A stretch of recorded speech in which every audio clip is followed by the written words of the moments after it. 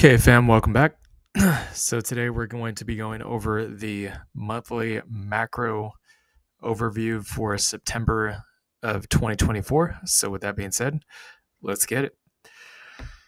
Okay, so we're going to actually start a little bit differently on this video than I normally would. And that's going to be with the monthly timeframes on a lot of these different metrics that we look at. Okay. So we're going to start with the indices. So pretty much on the S&P, uh, a couple of things I want to note here is that number one, the candle hasn't closed yet, but the markets are pretty much closed at this point. So you guys can see we have yet another hammer candle on the SPX. Okay, last month after we saw that, we had what a small dip and then a massive pop, and we ended up higher. So I want to point that out. Uh, the other thing to note here is that usually when the RSI gets into the overbought territory on the monthly, which it kind of is right now, but not really, uh, it can actually stay in overbought territory for a long time before having a pullback. Okay, so we saw March 2021 to August 2021, this thing was in overbought territory and markets just kept on marching higher. It wasn't actually until we got this bearish divergence shortly after that that we saw a pullback in markets, so it took nearly an entire year before entering overbought territory to actually see any kind of real pullbacks. So, uh, do I think a pullback is going to happen in the next few months? No, I don't think so. Okay, so kind of the same thing on the um, NASDAQ. NASDAQ has actually been underperforming the SPX. You guys can see the SPX is pushing all time highs, whereas the NASDAQ is slightly lower than that previous high up there at almost 21,000. Uh, we're not we're kind of slowly edging into overbought, but we're not really there yet. Um, but the Nasdaq is much more volatile than the S&P. You guys can see this thing was an overbought for a long, long time. Okay, so we had a small pullback here in 2018, uh, but then again, that was really nothing. And then you know we kind of poked in and out of overbought here on the monthly time frame for literally years before eventually pulling back uh, and we're just now starting to get close to it. But do I think that means that the market's topped out? No, no, I don't. so again, we have a very very similar looking pattern here. So we had a hammer candle last month and another one this month. We're still within, we're still on the inside of this kind of a rising broadening wedge. So I still think this is bullish. I don't think there's a reason to worry here. Um, Russell 2000, this is a pretty bullish looking candle. I would have liked to have seen the uh, candle body close at the top of this thing. That would have been more bullish. Uh, but regardless, it is still up. Um, it's pretty much looks like the Russell is going to close pretty much about the same close that we had for uh, the last month. So um, the the bottom line here on the monthly is that this thing is above the previous swing high. That's what matters. So next level is going to be up here at roughly about 2370 to uh, the all time highs at 2450. Okay, so uh, not going to take a look at the VIX on this one. Okay, so Dow Jones, uh, kind of a similar thing here. So we have this channel pattern. We're actually closer to the bottom than the top. In my opinion, that means we could have a lot more upside to come. Um, again, in the next few months in bullish seasonality the RSI is not really overbought, but the thing I want to point out here is that we do have two very bullish looking hammer candles. Again, usually that's a bullish sign. That means that markets are going to go higher. So that's kind of what I'm seeing here. And for the NASDAQ, I mean, same thing. We're kind of at the bottom of this channel, but the candle is green. Same thing here. So what that tells me is likely the markets are just simply going to move higher. Okay, so on the weekly time frame, um, we have uh, kind of pulled back a little bit on the RSI here uh, as the markets have been climbing. Now, uh, in my opinion, I mean, this could be looked at one of two ways. Okay. This could either be a bearish divergence or this could be the uh, market simply walking the indicators back as the price continues to rip and or kind of consolidate as you guys could see back here, I mean, basically the markets did absolutely nothing during this time frame, uh, and just kind of went sideways. I mean, we had a we had a big drop here on the uh, kind of flash crash, but it pretty much didn't do much of anything. Okay, it just went sideways, and then we eventually popped out of it. Uh, just a few weeks ago, and now we're barely starting to move up again. It's the markets are kind of waiting for the job data. So, Uh, I don't really think the markets have really started taking off to the upside yet. Okay, we haven't seen one of these moves right here. It's kind of just been up and down and all around. Um, so, in my opinion, it's kind of looking a little bit more like Bitcoin than it does like an actual bearish divergence. And speaking of Bitcoin, uh, usually we talk about this in a separate video, but I want to show you guys this in this video. So, uh, going over the monthly time frame here, which again is going to close pretty soon. Um, we, I mean, unless Bitcoin rips a lot in the next four hours, it's we're gonna have a green close below this red one. Do I think that's bearish? No, honestly, I don't. Um, I mean, look, we're going into a quarter that's pretty much as close to a guarantee as you can get that Bitcoin's going to skyrocket to the moon. Uh, we have not sold out of the bottom of this channel yet, so in my in my mind, and we have this long buyer's wick here, just like the last two. Uh, in my mind, this is still very bullish. Okay, so I'm going to go back over here to the weekly, but on the NASDAQ. So, yeah, I, I, think the markets are just simply being walked back at this point. I don't think there's any real reason to kind of worry about what may happen in the next few weeks or months.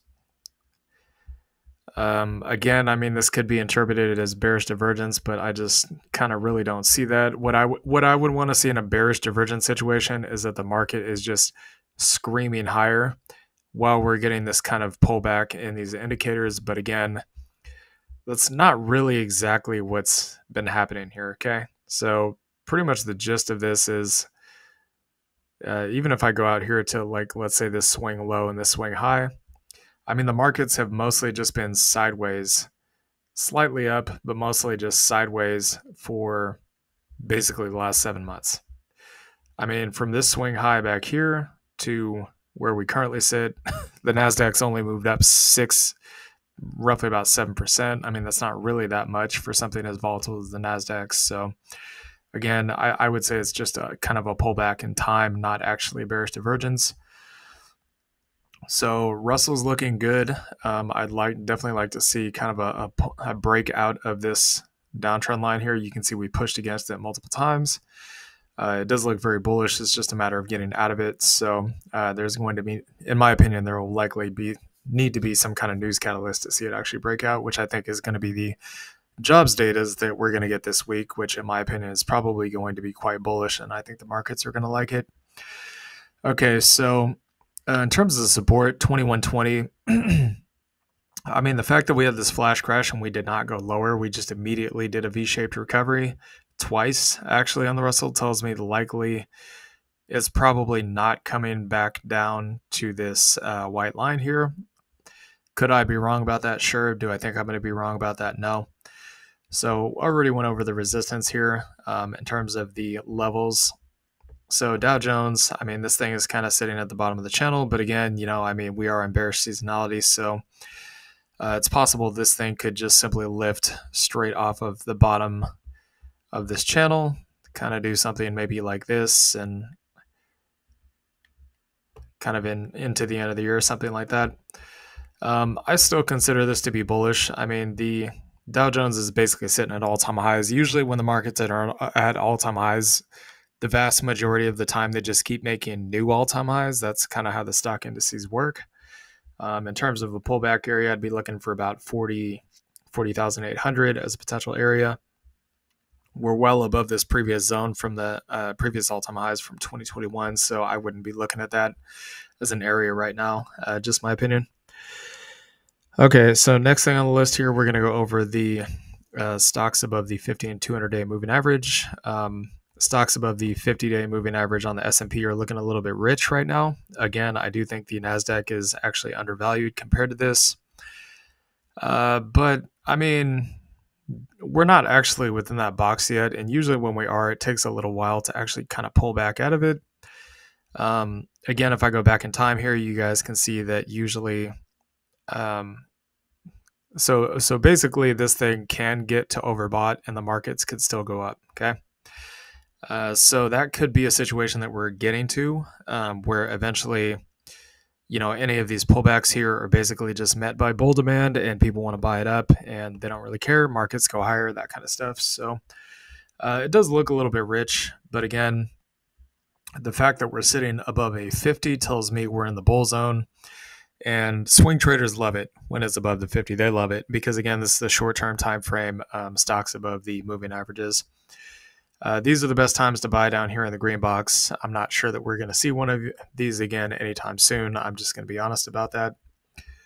Okay, so NASDAQ 50. Again, you can see we are well below the kind of sell box there, sell zone.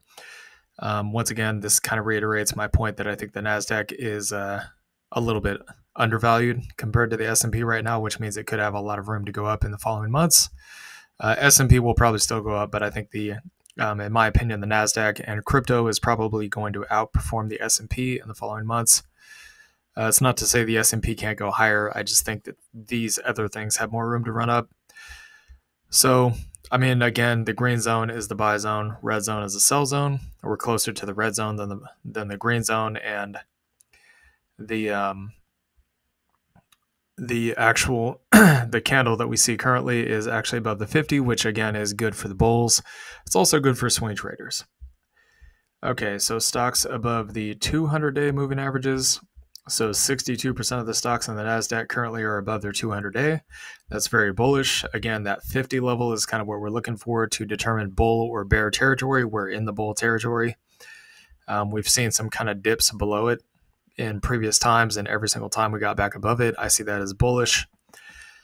Uh, and again, this is this is not so much for swing traders. This is more for investors because this is a long term, 200 day moving average. Is I mean, it's exactly what it sounds like. It's a seven month moving average.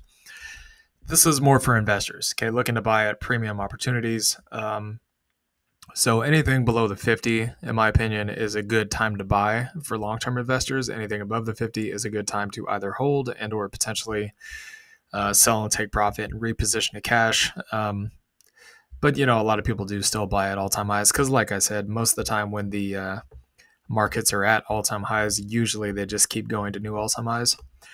Okay, so S&P above the 200-day. Uh, once again, this thing is really kind of edging against that overbought territory there.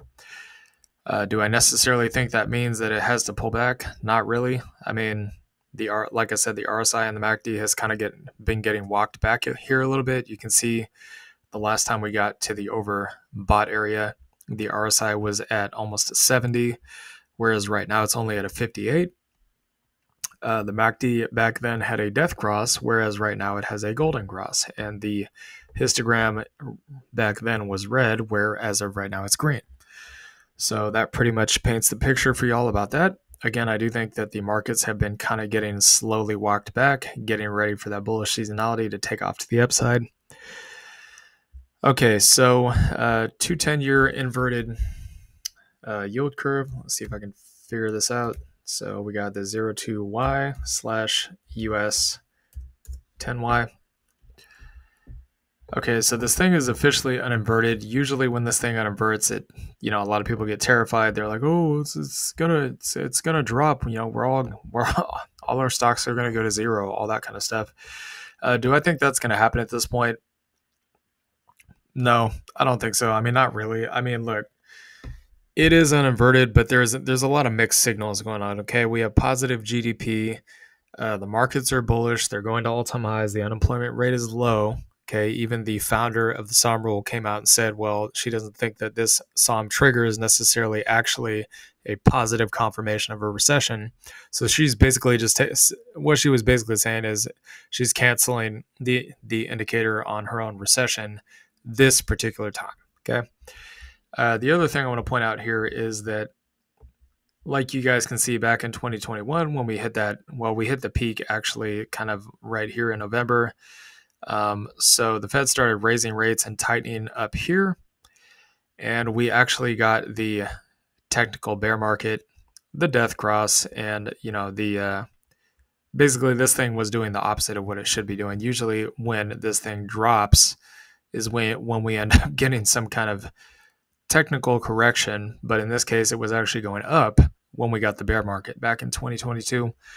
Um, because again, you guys remember the pandemic of 2020, right? So basically, the market started really crashing, kind of around that January, February, March timeframe, um, and it was just an absolute bloodbath. Well, what happened with the uh, inverted or the yield curve inversion 210. Uh, basically, it uninverted and the markets crashed. This time, the markets actually crashed when it went up, and now it's going down, but the markets are going up. And the other thing I want to point out here is in March of 2022, when the Fed raised rates, this thing was actually overbought. Okay, and we got a death cross. Uh, as of right now, it's oversold.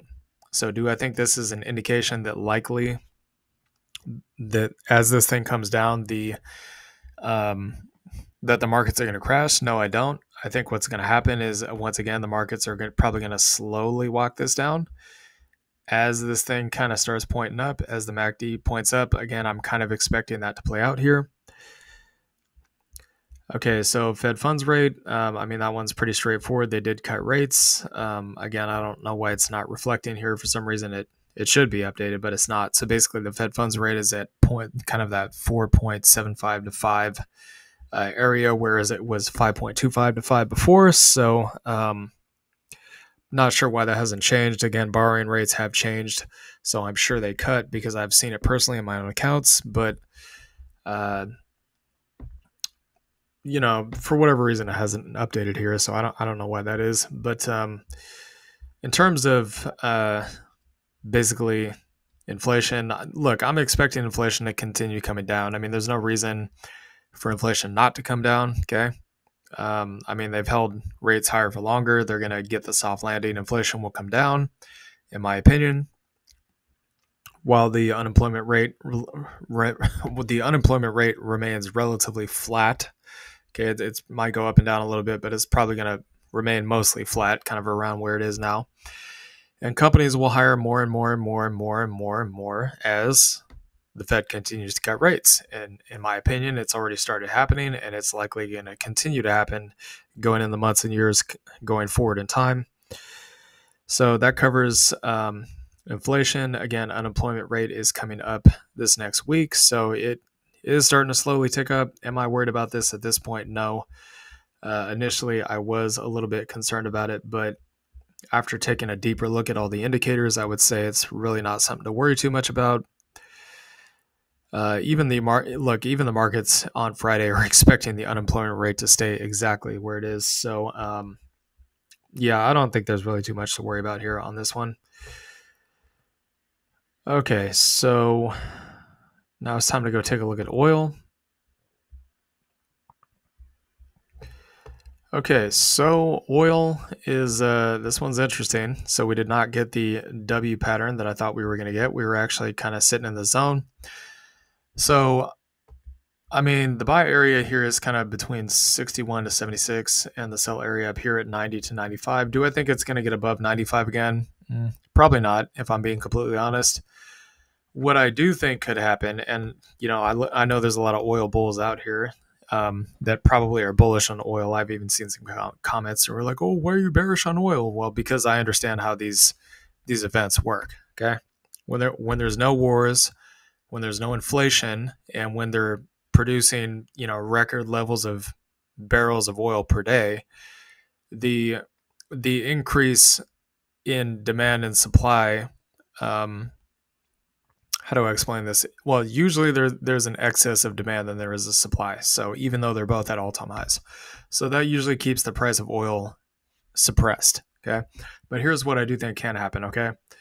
So when the wars come to an end, Trump gets reelected, they build back up the strategic petroleum reserve, which I don't know if it's still at all time lows or not. Um, it was at one point, but when they eventually do that, um, again, the Democrats wouldn't do that because it goes against their whole green policy, right? Oh well, we can't, we can't be producing oil because then it makes us look like hypocrites. They can't do that, right? Because it makes them look bad. It makes them look like a liar, uh, which would be understandable.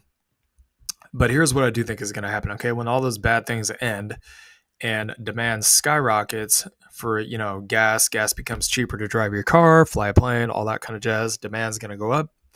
I do think we could see some vacillation in between these areas. Okay, this resistance and this support. So there is actually some upside here.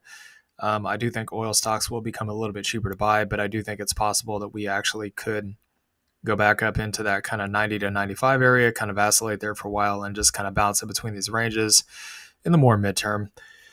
All right, so I'm going to go over metals now. Uh, we'll start with gold. So I'm actually going to do this on the monthly time frame. So gold has had an absolutely unbelievable run. It's even moved even more than I thought it would. Um, I've told you guys my stance on precious metals before, with the exception of copper. Uh, gold and silver specifically are basically um, people buy them uh, in anticipation of a recession or possibly even like economic collapse. It's known as a fear trade. What do I mean by this? Well, when times are good, there is no recession, there is no inflation, there is no wars, none of that. Usually the price of metals will come down. Okay. And when, so basically, when there's, when there's economic certainty, the price of these theoretically come down. When there's economic uncertainty, the price of it goes up. Okay. As you can see here during the pandemic, uh, even before the pandemic, this thing started taking off to the moon. And then even more so recently. So, yeah, I think gold's pretty expensive. Okay, I'm not gonna lie. I think it's very expensive. Um, personally, I would not buy right now. I would rather buy Bitcoin than gold because gold's literally sitting right at all time highs. Bitcoin's still like twenty something percent off off all time highs. I think it's cheaper uh, from an investor investor perspective. But you can see during the uh, Great Financial Crisis that gold took off to the moon um, as the markets were kind of crashing. And yeah, so eventually we got this overbought signal on the RSI, and then we got the MACD death cross, and the price of gold went down substantially from the previous all time highs. So it went down roughly about 46% from the all time highs. And once again, I mean, this is on the monthly time frame. This is the biggest time frame we would look at here. When the RSI got oversold, what did we get? We got a substantial pullback. Okay, 24% pullback. We did get overbought on the RSI. We did get the death cross on the MACD. And now we have another RSI overbought signal, which means, again, in my opinion, it's expensive. So if we get a 24% pullback, we'd basically pull back to the previous all time highs at 2000. Or hold on, let me actually remeasure that. I'm not sure if that's right. Uh,